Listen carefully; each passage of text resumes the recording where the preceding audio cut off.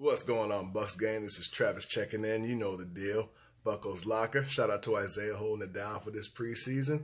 And I'm going to fill y'all in on my preseason opinions on what's been going on. So, just to get into it, y'all, some big cuts were made. Big cuts. I'm happy with some, not happy with all, of course. But I see what direction we're going in. This preseason told us a lot what direction we're trying to look at on both sides of the ball. Uh, First cut that caught a lot of people's attention, uh, Charles Sims. I mean, I wasn't surprised when he got hurt. I was like, that's it. Let's be real. Who's who was really Charles's Charles Sims fan this long into his career with the Bucks? Lovie Smith guy just just didn't make it work. So he's gone. Wish him luck. Wish him well. I'm surprised we kept the Shaun Wilson guy, the undrafted running back from um, from Duke, he's been proving that he needs to be on this team. He wants to be on this team. He wants to be on the roster, and he made it. Because um, Ronald Jones, Ronald Jones is looking too well. But let me touch up on that real quick. Y'all need to ease up. All right, ease up. Not every running back is gonna be spectacular coming out the gate into the NFL. All right, just be realistic. I mean, remember when Melvin Gordon first got drafted and how he was his first year? You know, people are like, "Oh, he sucks. Why do we draft him? First round running back, he's trash." Second year, made the Pro Bowl. You know, um, another one. I know y'all are gonna be like, "Why are you bringing up this guy of all people?" Um, Cause it's facts, man. Walter Payton. Walter Payton sucked his first game. Walter Payton was had no rushing yards his first career game, y'all. He's a Hall of Famer. And I know it's Walter Payton, and I'm not saying Ronald Jones is going to be the next Walter Payton. I'm sure as hell not. But the fact is you got to be patient. Not every rookie running back is going to be the man coming out the gate like that, especially with our offensive line not the best, not the best shape. You know, I think that Tampa needs to utilize him in another way. And uh, he needs to shake off that, uh, I guess, that fear of getting hit because, um, I mean, Shaun Wilson's doing it. Peyton's been Peyton Barber's been in for a while, so we know he's a hard hitting running back. I'm happy to have him on the roster. But be patient with Ronald Jones a second, okay? He may need to have some pep talk to get him off his get him off his feet and uh, get going north and south. All right, but I, I, see. I think Dirk could could get him utilized in another way for the offense because I don't know if he could be the inside guy. Maybe he can take it to the outside, especially if he gets better at catching the balls. But he does need to improve. But I'm not counting him out just yet. Um, I'm happy to see our our uh, rookie rookie uh, DBs doing well with uh, MJ Stewart and Jordan Whitehead and the other guy that we got. Uh, damn, but we cut Keith Tandy and Josh Robinson just to only keep. I'm not even gonna say his name. You know, he's there for a reason, I guess. He knows the defense. They kept some veterans with him and uh, Brent and uh, and um and Grimes and Grimesy back there, and we still have Vernon. um, so hopefully, hopefully they can they can help out with these seasoned DBs we have back there. Um, I'm loving the linebackers that we have, especially with Jack Cichy making it. Uh, still have Kwon, Lavonte. Sucks that we won't have Kendell Beckwith for a while with his uh, being unable to perform on the PUP list. Uh, but what about the receiving group we got though? Let's let's just let's just be real. I was arguing with a family member of mine. He was saying, "Nah, we're gonna put Watson, Watson on the practice squad." I'm like, "No, we're not." If we put him on a practice squad, some team is going to take him and it's going to bite us in the ass. So I'm so glad we put him in our six in our deep six uh six man receiving squad because he earned it. I know sayonara to Bobo Wilson, but uh Jack Justin Watson Justin Watson needed is in the right place. He needed to. I'm glad we kept him for real. I'm so happy we kept him. Um, line the line looks all right. I don't want to get. Mm. I know we had some injuries with Donald Penn. Um, back to Justin Evans on the defense. So we'll see. Maybe Jordan Whitehead will step it up back there in the safety spot next to Conte. Uh, tight ends are awesome. No, no, no fears there. The defensive line is deep. I'm glad we have JPP being that leader on the end, along with uh, McCoy in the middle. Noah Spence. This I think this year will be a year for him to prove it if he can be a pass rush specialist because we haven't seen it yet. We know we know he was hurt last year, and this preseason we just haven't seen it.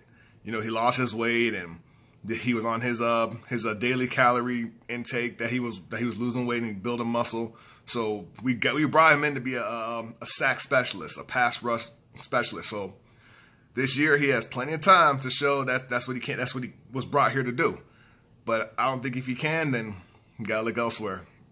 Um, I really can't wait to see when Vita Vea comes back because that's our number one guy. I understand he was hurt and uh, he may need some bounce back to come back. But we who who doesn't want to see the number one draft pick? I'm sorry, their first round pick. Who doesn't want to see that person perform? So that's the one I'm really anxious to see and hoping that he lives up to that first round name because who we should have gotten is over in L.A. on the Chargers. But it is what it is. Uh, quarterback. Uh, I did like seeing. I did like what I saw Ryan Griffin. I did like uh, I did like what Jameis did, and of course, on, with the second team. And uh, Fitzpatrick was Fitzpatrick in preseason, but we all know Fitzpatrick and his track record, okay? Like, let's just be realistic here. If Fitzpatrick was that good of a quarterback, why is he on his, what, like eighth team? and always been a backup, only started one year. So, this whole thing about Jameis may not even see the field this year. He may not start. He may not. Uh, he may not get a start on John back when his suspension's over. Come on, y'all. Let's just be real. Do you really see Fitzpatrick holding it down that long, and then them putting him in Ryan Griffin over Jameis Winston when he's over with his suspension, with Jameis having great numbers over the preseason. You know, that's the he's still the franchise guy. He's still the franchise. So I don't believe that for a second. I really don't. I think um, I think Jason Licht's trying to ruffle some feathers, get y'all, get all of us anxious, but I don't think he's gonna do that. I mean, if he if he does keep him on the sideline, then Jameis is done. Plain and simple. If the GM is going to give up on the franchise, then that means his his time here is done. No questions asked. But I don't see Fitzpatrick leading us down 16 games. I mean, with him starting these first three games, depending on how the defense does, if he can continue to, well, I'm just gonna focus on him. Um, with uh, Saints coming up the first game, then us having the, the Super Bowl champ Eagles, and then Pittsburgh on prime time I'm gonna say two and one like last year.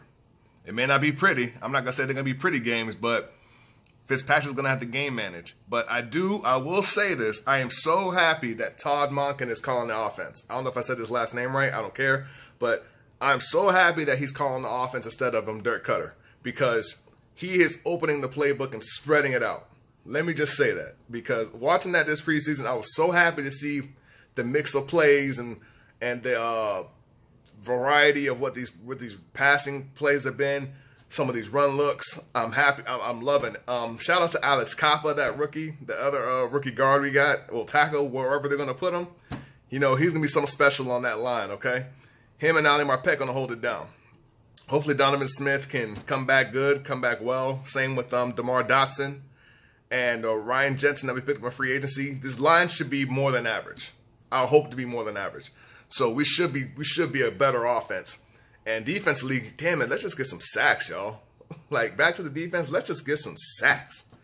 You know, we're gonna have we're gonna have we're gonna have so much depth at line, offensive and defensive line. Like let's just let's just do it. You know, linebacking corps to stay healthy. Um, and hopefully with this um with Michael's with Mike Smith's defense this year, I just hope that he doesn't do the same two coverages that he did last year. I know he he relies on the pass rush, but come on, dude. It didn't work last year. And I know you're saying we got a better pass rush now, but two coverages, come on. It's not going to do it 16 games, all right?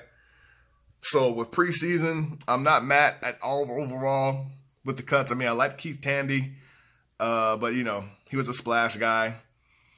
Um, Josh Robinson, big guy on special teams. So I see we're just trying to, mm, obviously, we're getting younger and we keep it some veterans here and there.